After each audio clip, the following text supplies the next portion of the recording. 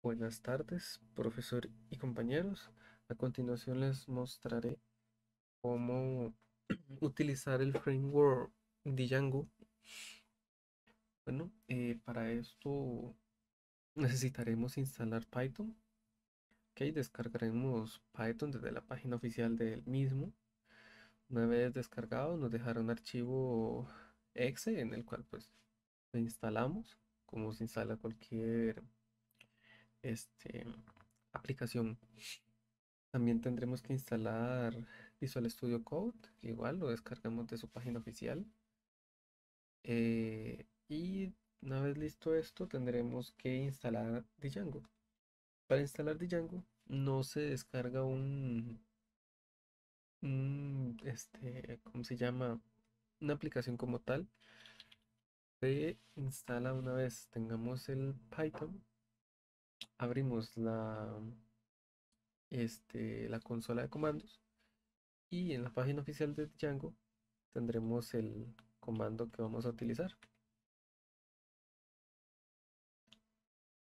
Una vez tengamos esto, le damos enter y bueno, él se instalará solo. A mí me aparece esto, pues ya lo tengo instalado. Aquí hay otras maneras de instalarlo, hasta con, con Git y todo. Pero bueno, una vez tengamos instalado eh, Django, vamos a ubicarnos en una carpeta. Voy a eliminar esto. Vamos a ubicarnos en una carpeta. moverme así. Eh, nos ubicamos en esta carpeta. Vamos a agarrar esto. Son un par de comandos que son necesarios. Bueno, podemos ver la versión del Python para ver si ahí se tiene ya la versión del Python. Ya se instaló el Django que es el siguiente comando. Luego tenemos para ver la versión del Django para ver si está instalado. Python Django y ahí nos diría la versión de Django que tenemos instalado. Eh, nos ubicamos en la carpeta que queremos para crear el proyecto. Entonces creamos aquí Django y un admin start project y le ponemos un nombre que vamos a ponerle ejemplo video. Entonces, a ver, start. Ok, me equivoqué aquí. Start project. Ok. Como podemos ver, se crea una carpeta que se llama ejemplo video. Eh, vamos a agarrar esta carpeta y vamos a abrirla en Visual Studio Code para poder hacer manipulación de ella, uso de ella. Abrimos una nueva terminal, instalamos un par de de librerías que son necesarias. Vamos a ver aquí. ¿Dónde estamos?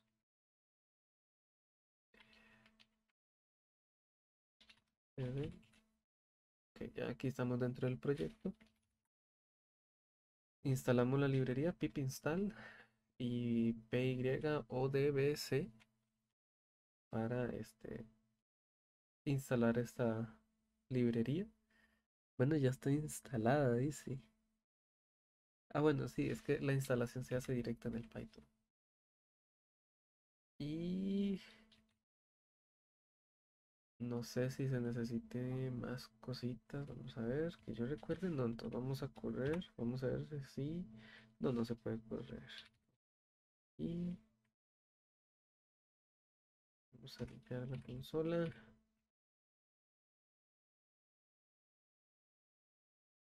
Ok. Falta aplicar la migración. ¿Cierto? Ok, antes de correrlo, es este comando que faltaba. Migrar, hay que migrar los datos. Pero antes de migrarlo, vamos a correr este también. Python manage collection static. por si tenemos algún archivo estático. Entonces ahí le dimos que sí y ya. Esto hace que ya no tengamos error al correr este. ahí se corrió, ¿no? Python Manage Migrate. Sí, aquí está. Y una vez eh, hecho esto, vamos ahora sí a correrlo. Y aquí nos tira el enlace donde estaría, donde estaría levantado el proyecto. Si nos vamos a la página, vemos que aquí dice The Install Worker Success, Congratulations. Y nos dice que, bueno, esta es una página por defecto eh, creada en Django. Aquí también podemos ver este, una sección en la cual podemos acceder al admin, la sección admin de Django, pero para esto habría que este, iniciar sesión y, y esas cosas aquí. Pero igual no, no es necesario. Más que todo se trabaja en esta, que es la página principal de, pues en el trabajo. Ya aquí podríamos ir este, agregando cosas, ya, configurándolo y todo. Entonces ahora vamos a presentar el proyecto. Como se puede ver, vamos a ver. Se puede ver mucha diferencia, no hay. Aquí tenemos la carpeta del proyecto principal, la carpeta del proyecto principal. Tenemos todo esto, tenemos una carpeta nueva que se llama templates carpeta no está, pues se crea y es para eh, colocar las páginas, las páginas que tenemos, ya, que vamos a utilizar y que vamos a manipular. Eh, tendremos que también se utilizaría aquí en la en el archivo views. Eh, esto es como para la conexión. Se realiza aquí la conexión a la base de datos, se hace la consulta a la base de datos, bueno, aquí se hace la conexión, aquí están los datos, se hace la consulta a la base de datos. Y bueno, aquí se hace un retorno de los datos a cierta a la página que se indica. Está, eh, esto es lo mismo, aquí se hace la conexión y este es para hacer un post, para ingresar datos. Y esta página es solo un, bueno, este view es solo para redireccionar al index, ¿ya? no hay mucha ciencia. En URLs eh, tenemos las URLs. Pues aquí están movies y aquí está inserts, que son estas, movies y insert. Está la del index, eh, que se direcciona al index. Aquí este. Bueno, vamos a ver, si queremos ir a movies, cuando escribamos movies, se redirecciona y se obtienen los valores que hay en views.connect.sql. Entonces, si vamos a views, aquí tenemos connect, connect SQL que es un simple select. Pero si queremos ir a un insert, vamos a save movie. View.savemovie que tenemos en view.savemovie, aquí son save movie. Ya, ¿y qué es esto? Es un insert. Se realiza un insert y listo. Y aquí pues es este index que redirecciona al index en URL, pues tenemos aquí la del index y también la del index para que cualquiera de estas dos nos redireccione a esta página.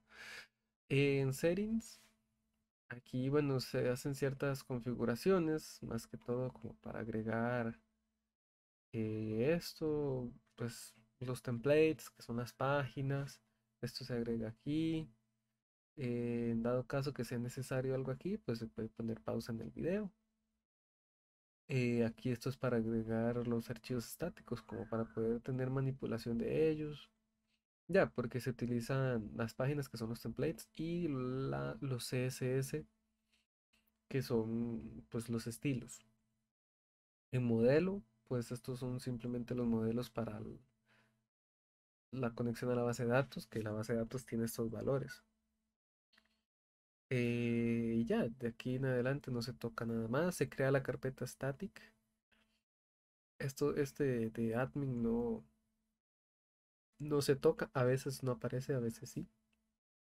Pero aquí en static lo que se hace es agregar pues imágenes, fuentes o el CSS. Aquí tenemos el CSS. Tengo tres CSS, que es el de unas tarjetas. Tengo la configuración de unas tarjetas. Tengo un estilo de, unos botones y un formulario. ¿Ya? Y el tercero es para eh, otro tipo de tarjeta, que es el tarjeta del index, el puro inicial. ¿Ya? Pero más que todo, pues esto es un CSS normal como el que se tiene en cualquier página web. Em, y aquí en los templates, pues son las páginas, aquí se adhiere el CSS, como se puede ver, él ocupa una sintaxis un poco más especial, porque se ocupa primero cargar los estáticos, los archivos estáticos, y luego aquí se utiliza esto como para cargar el, el CSS que se encuentra aquí adentro, en la carpeta estática. Ya. Eh, dicha página web pues es un simplemente una una página de películas de terror. Entonces vamos a detener este proceso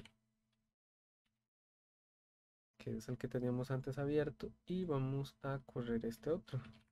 Veamos python manage.py y run server y carga.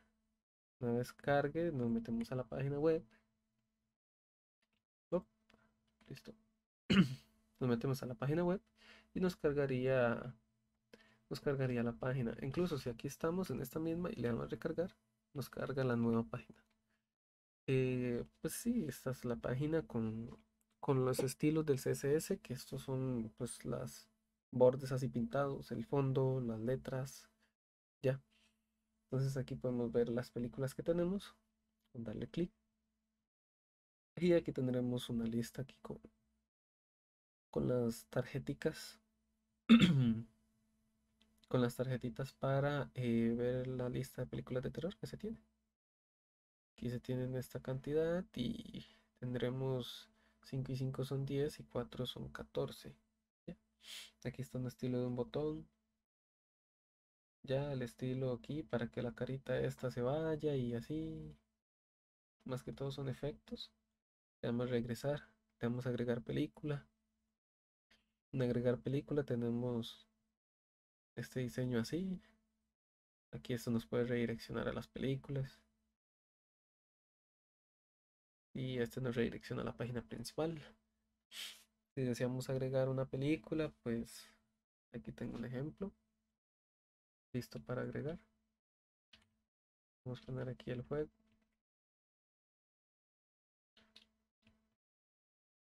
Error. Ponemos eso y ponemos esto. La nueva película se llama el juego, entonces si le damos a agregar, él nos dice ingreso exitoso, le damos a aceptar. Y podemos ir, ir directo aquí a las películas y ver que aquí se agregó el juego con su descripción y, y todo lo nuevo que acabamos de agregar. Entonces ya no tendríamos 14 sino 15 películas. Y ese sería el ejemplo programado. Eh, cualquier consulta, duda, eh, sugerencia, pues es bienvenida. Em, y bueno, sería todo. Muchas gracias por su atención y por su tiempo. Pasen buena tarde.